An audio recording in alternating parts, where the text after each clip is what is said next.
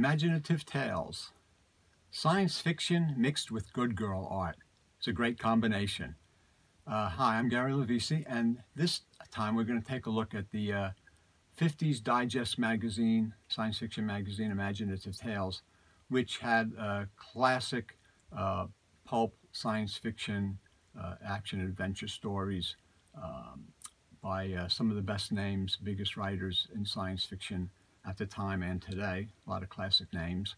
And uh, cover art, like really beautiful, sexy, good girl art by uh, McCauley and uh, also by Malcolm Smith. Malcolm Smith was the, uh, was the art director. And uh, the magazine started in, uh, with the first issue in September 1954. It was is a Greenleaf uh, publication, the first, uh, probably the first Greenleaf publication, is edited by William Hamling, who uh, owned Greenleaf, and uh, Greenleaf later uh, went to the West Coast and started um, a whole lot of uh, sleaze publications, Greenleaf books, Corinth books, and others. But back in the 50s, when Hamling was starting out in Chicago, he, he started with Imaginative Tales. And um, we're going to take a look at them now. The first one is the uh, is the September 1954 issue. McCauley cover. And the second one is the November 1954 issue, number two. Another McCauley cover. Great, good girl art. And these two uh, begin the, uh, they have a, start the magazine off with Toffee. Toffee was a sexy girl who gets uh, in, uh, into all kinds of uh, science fictional, sexy, good girl art uh, situations. This is a, was, was the first one was a novel. The second one has two uh, Toffee stories in it. Uh, they were from Fantastic Adventures in, from the 40s, and they, these are reprints of, of the Toffee's tales. And then in the third issue, you have um, third issue is January 1950, 1950. Let me see. I can't see it. Some of the some of the printing, 1955. Some of the printing is very light. Um, it starts off with uh, stories by Robert Bloch and others, and these are just like really beautiful, cool magazines. There's um, there's at least 26 issues. They run till November 1958. Uh, I have 14 of them. So what I'm going to do is show you the first, the first few issues and and uh, the 14 that I have. Uh, unfortunately, I don't have a complete run, but they have great stories by uh, Ellison Bloch, Silverberg, Dick, uh, and, and and other writers. Uh, William Hamling was the editor and uh, they have terrific uh, artwork by H.W. McCauley and uh, Malcolm Smith and others. So just to take a look at, here's the back cover, what they look like on the back. And inside you have the first issue. It's, it's a toffee novel. and it credits William Hamling, art director Malcolm Smith, Greenleaf Publishing, and its the first issue September 54. And they have all these kind of sexy uh, drawings in them, sometimes uh, good girl art. And same, same drawing. And uh, number two is, is two stories of Toffee. Toffee takes a trip and Toffee haunts a ghost. And uh, that's those two stories that are in there. And they mix good girl art and a little bit of sleaze, you know, with science fiction. And this is Hamling was uh, would would later on kind of uh, uh, end up leaving uh, science fiction and just go right into sleaze. The third issue is um, is is where we uh, have stories by other writers. You have a Black Magic Holiday by uh, Robert Bloch, and you have uh, stories by uh, Raymond Banks and others. This is the third issue. This is the first three issues. Um, I don't have them all, so I'm just going to go uh, March 1955 is issue number four. It has a story by Robert Bloch, Daniel F. Galouye, Frank Robinson, and S.M. Tenneshaw. Cover art by, again, by McCauley. And it's one of his iconic covers. Uh, topless uh, naked woman holding a, a, string with a ball, and the ball is and her hair, or mermaid. Uh, yeah, the mermaid, and her hair, her hair and the ball uh, are uh, strategically located to cover her.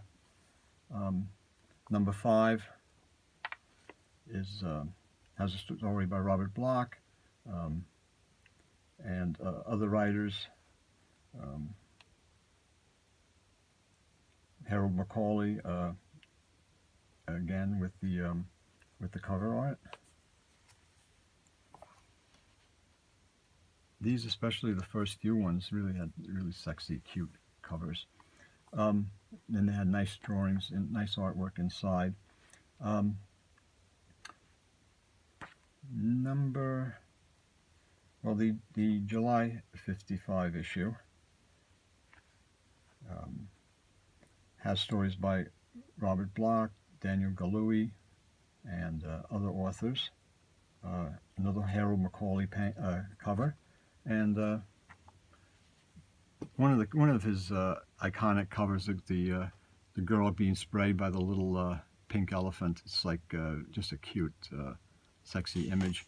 On the inside, it has a uh, uh, author, uh, you know, um, bio, and this time it's on Robert Bloch, who did a lot of stories uh, for the magazine. A lot of them were reprints.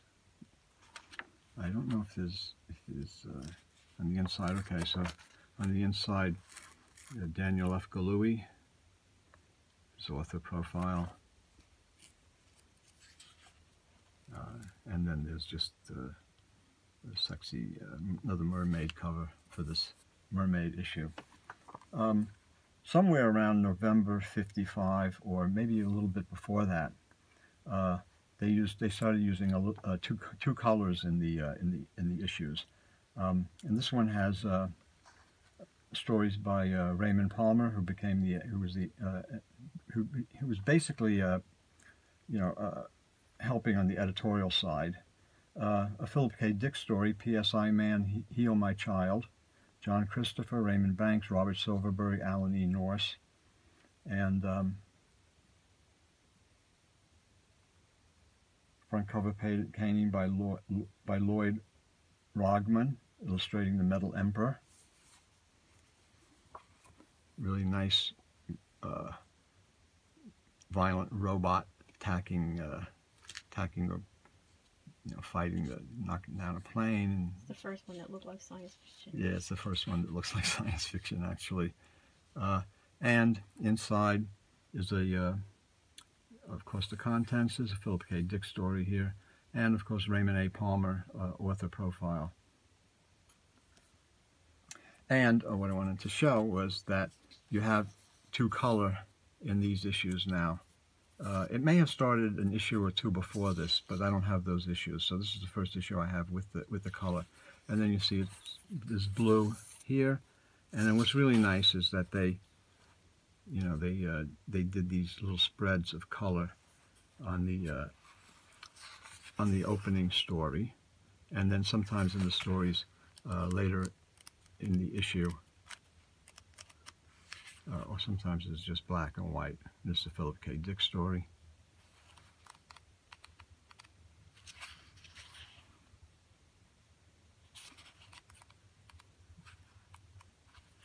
Um,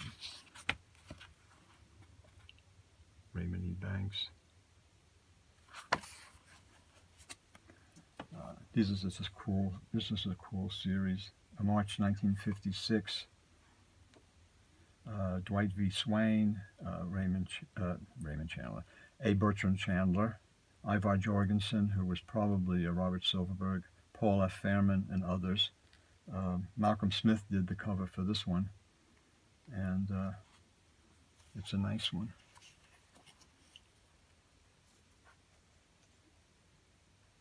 And uh, the lead-off story by Dwight Swain again has the red two-color artwork and see if there's any others. There were some others that I noted as I was looking through them with with color. Just to show you if well it's in the other issues. But definitely they have it in the in the uh, in the other issues. Um, March uh, May 1956. Um, Ivar Jorgensen again, probably Silverberg, Milton Lesser, uh, Lloyd Rog Ragna did the uh, cover art for this one. Really nice, beautiful cover. And uh, again, there's the two, uh, Forrest Ackerman. Forrest Ackerman, uh, author profile. Forrest Ackerman did some uh, nonfiction uh, stuff about uh, science fiction fandom in some of these issues. So is they used the blue, and they used the, the red. The Gateway to Infinity. Again, black and white. They did use uh, the two color in, in some of the other other stories.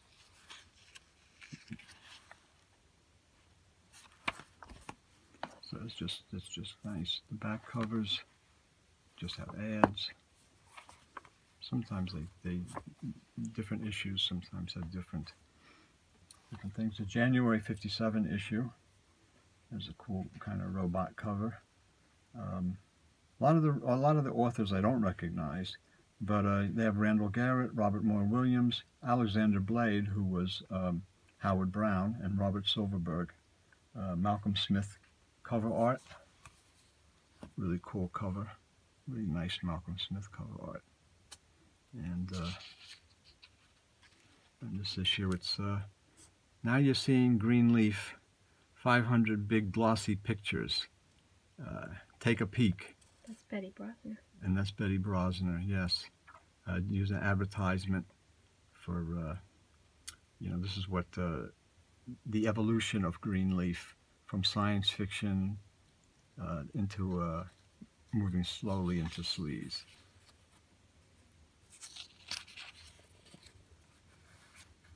Here's the lead-off story.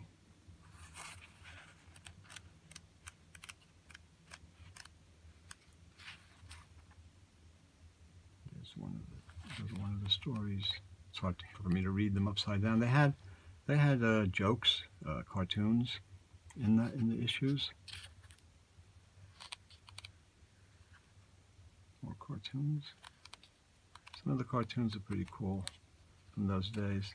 Science science fiction marquee. Scientific. Sci science film marquee. Yeah. So on films, uh, this is probably by probably by uh, Ackerman. probably by Ackerman. Let me see. He's talking about.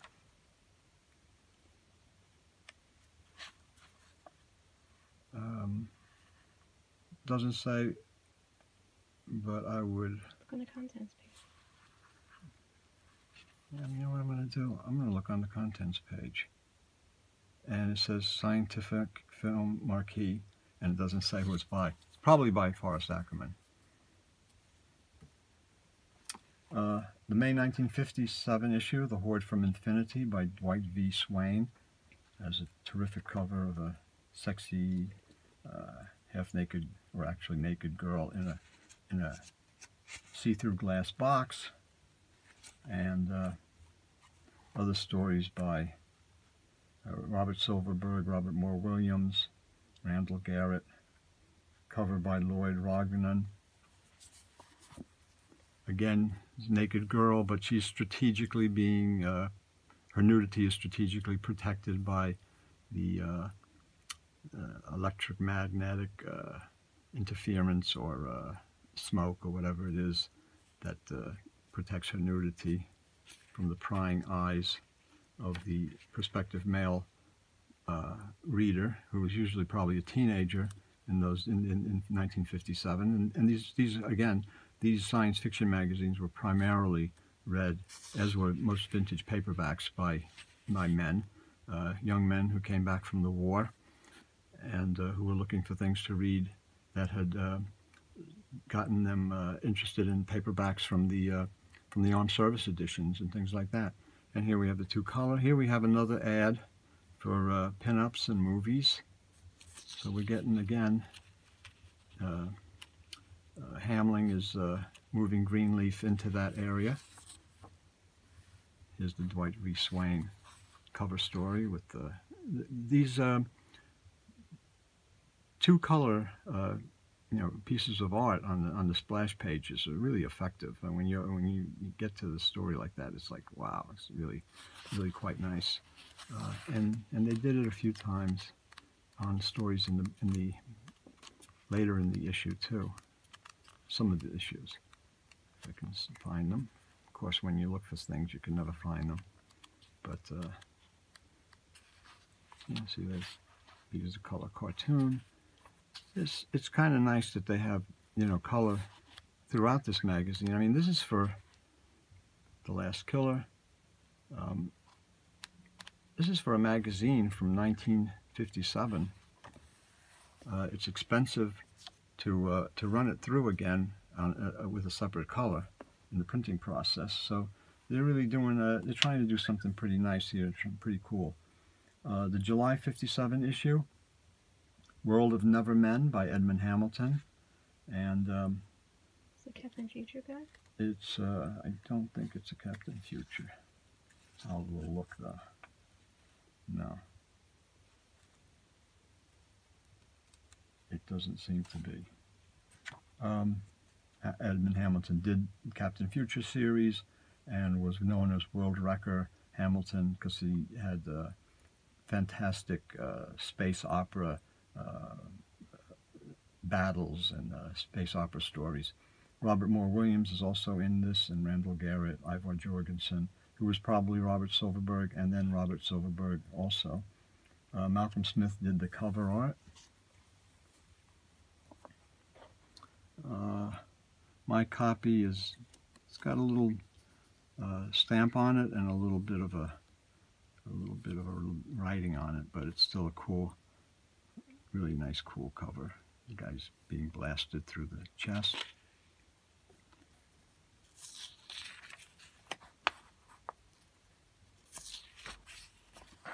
Here's the opening story, World of Never Men by Edmund Hamilton.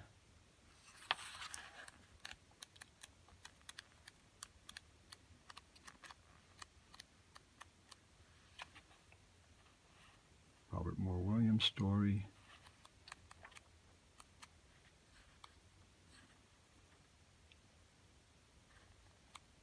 world. Malcolm Smith did a lot of the interior. Here's one with some color. Malcolm Smith did a lot of the interior uh, illustrations. The Assassin by Robert Silverberg. Um, the November 1957 issue, The Ship from Infinity by Edmund Hamilton, also has Rog Phillips uh, Alexander Blade, who was Howard Brown, Randall Garrett, Ivar Jorgensen is probably uh, Robert Silverberg, and um, Lloyd Rognan did the cover from the ship from Infinity. There's a terrific astronaut cover. These are really cool. So um, McCauley, Rognan, and Malcolm Smith some really, really effective, great, pulpy science fiction covers for this digest series. Imaginative, Tale, Imaginative Tales is a really cool magazine. It's great stories by great writers. Maybe you can be sent away and become a crime uh, for crime detection. You're under arrest. There are all kinds of ads. This is the Edmund Hamilton read-off story. The Ship from Infinity.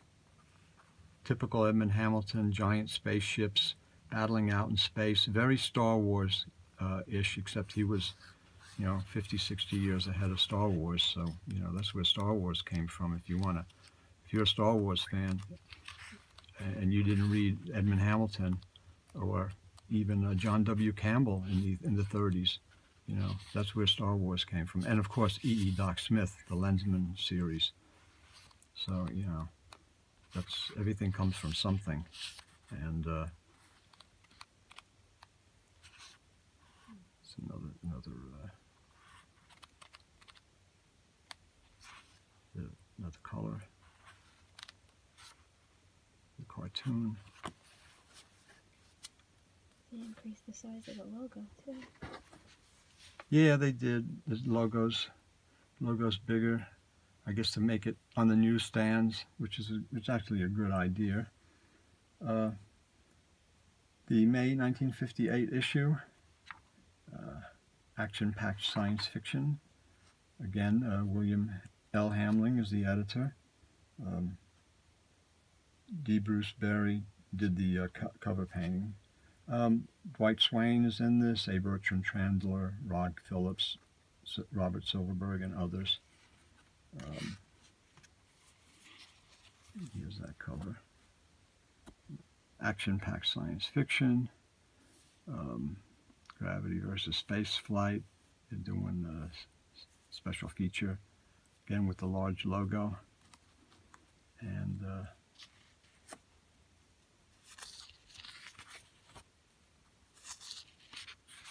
here's the opening story. Giant Killer by Dwight V. Swain. Swain wrote a lot of pulp stuff, science fiction. He was a, really a good writer who uh, always kept himself busy, churning out lots of uh, lots of good stuff. A. Bertram Chandler, the Australian writer who uh, broke into the American pulps and uh, uh, digests and paperbacks his John Grimes books later on would be uh, very popular. Um, another, another story. I don't think there's any more color. Oh, there is color, and it's this one here. Oh, Robert Silverberg gets color, even in those days when he's when he was young and starting out. The Cosmic uh, Pen Club. Uh, where people would write in pen pals. Let me just see, because you know sometimes never know who the uh, who the uh, people would write in, and they would put their uh, their name and address, everything here, to um, to uh, meet other science fiction fans. And sometimes you'd be surprised when you look at these magazines from the 40s and 50s, who's in them. Uh, I have uh, actually in this one there's nobody there's no names that I, re I recognize but very interesting that uh, in some of the uh, pulps and some of the digest magazines you actually see uh, early Lin Carter, Marion Zimmer Bradley, Silverberg, um, and seen Ackerman too. Ackerman, other people, all, all like uh, young young writers, young writers trying to break into the uh, into the pulps and the magazines would write into these magazines and the earlier pulps uh, letters, and they would put their names and addresses so that they could contact other fans, and it was a way for uh, for people to to get together because people reading this stuff, it was like in those days it was kind of like uh, you're reading that kind of Buck Rogers stuff, and it's you know it's not really like, you know, it's supposed to be, it's not really good stuff, you know. You got to read, you know, the classics. Ooh. Now, now the thing is, these are the classics. Uh-huh. So see how things change. But Imaginative Tales is interesting because it's an early Greenleaf uh, publication, uh, which would morph into Greenleaf books years later on. William Hamling's, uh, uh under his uh, editorship and guidance, and uh, they would become like one of the leading uh, sleaze publishers uh, and adult fiction publishers uh, in, in the country, and they would uh, with Earl Kemp and other uh, people, uh, Harlan Ellison uh, and other people who were uh, involved in various aspects with Greenleaf and with Hamling and, and, with these magazines. You would have, you know, they changed the, the, the, face of publishing, and Greenleaf became a, a major major publisher and an important publisher even today and very, very uh, collected. But this was the early days of Greenleaf, starting in Chicago with Imaginative Tales. They also had another magazine called Imagination. Imagination was interesting because, uh, and we may get to that at some point, uh, the first two issues were published by another publishing company, and then that publisher uh, either sold it or just gave it up, and then Greenleaf took over, and uh, Hamling uh, continued publishing Imagination. So this, not to confuse these two magazines, but I just want to let you know about Imagination, uh, which is uh, a separate uh, uh Greenleaf uh, science fiction digest. But Imaginative Tales was, I believe, the first one, and it ran about 26 issues to November 1958, and um, unfortunately, I only have 14 of them. and uh, I was only able to show you the 14. But I, I hope you enjoyed them. I hope you enjoyed this look at uh, this early science fiction digest series, uh, the Good Girl art and the uh, uh, the uh, fantastic images and spaceships and naked women and all the stuff that went with with this early science fiction stuff.